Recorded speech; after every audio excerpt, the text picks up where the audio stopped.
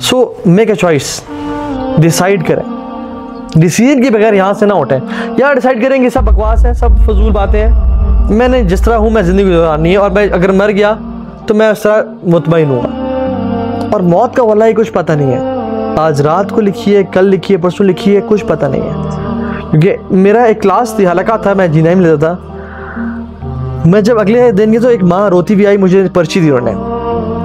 تو اس پرچی میں لکھا تھا، بیٹا آپ کی پچھلی کلاس میں میرا بیٹا موجود تھا۔ اس نے وہ لیکچر سنا تھا، لیکن وہ اس کلاس میں، وہ اس دنیا میں نہیں ہے، وہ مر چکا ہے۔ واللہ، ہم سے کون شخص ہے جو آج زندہ ہے اور اگلی کلاس میں ہم سے زندہ نہ ہو؟ ہمیں کچھ کرنٹی ہے کہ ہم جب اپنے گھر کو چھوڑ کے آئے ہم نے کبھی واپس بھی جانا ہے۔ وہ جو شخص تھے جن کو ہم نے کل دفنایا ان کو پتہ تھا کہ میں جو ابھی گھر میں داخل ہو رہا ہوں، میں اس کے بعد یہاں سے زندہ کبھی باہر نہیں جاؤں گا۔ میری میت نکلے گی یہاں سے۔ کبھی علم تھا ان کو؟ اگر علم ہوتا تو بندہ پہلے ہی اپنا سارا اپنا مال سزا کر دیتا کسی کو علم نہیں ہے اس بات کا۔ کسی کو نالج نہیں ہے اس بات کا۔ بہت اچانک سے آتی ہے۔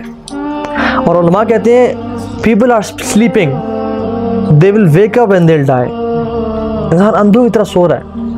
اور جب موت آئی نا تب اس کو ہوش کہ او تیری خیر، یہ میں نے کیا کر دیا۔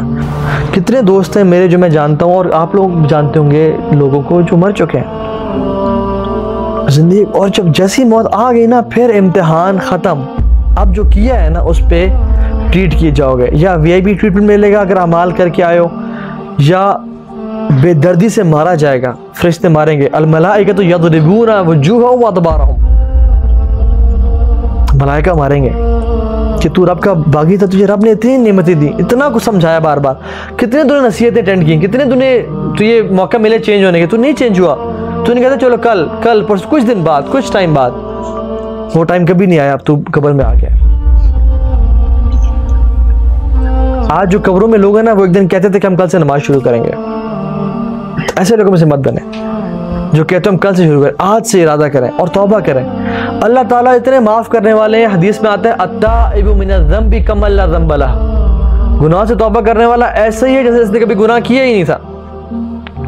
صحابہ سے پوچھا کہ، اے صحابہ بتائیں سب سے قرآن کی عظیم آیت کون سی ہے؟ انہوں نے کہا، آیت الکرسی۔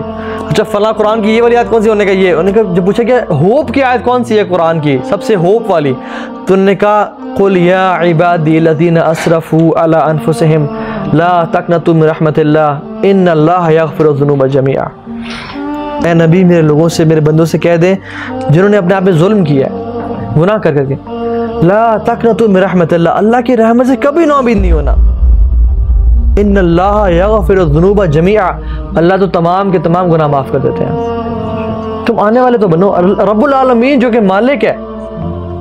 بادشاہ ہے شہنشاہ ہے. روزانہ رات کو آتے ہیں آسمان دنیا پہ اور کہتے ہیں کوئی ہے؟ توبہ کرنے والا میں اسے گناہ معاف کر دوں۔ کوئی ہے مانگنے والا صبح دعا قبول کرو۔ تو فیصلہ کریں۔ فیصلے کے بغیر نہ اٹھیں۔ دل میں فیصلہ کریں کہ بس آج کے بعد انشاءاللہ میں زندگی ایسی گزاروں گا نا۔ امیجن آپ کو ڈاکٹر کہتے کہ آپ کے پاس چھ مہینے رہ کے زندہ رہنے کو۔ وہ فور شور کہتے ہیں آپ کے پاس اگلے چھ مہینے زندہ رہنے کو آپ کی اسی بات موت ہو جائے گی۔ کیا کل سے آپ کی زندگی سیم ہوگی؟ نہیں۔ ایک ڈاکٹر کی بات تو ہم مان کے زندگی چینج کر دیتے ہیں۔ لیکن رب کہتا ہے، کلو نفس ذائقۃ الموت۔ تمہیں موت آنے والی ہے، تیاری کر لو۔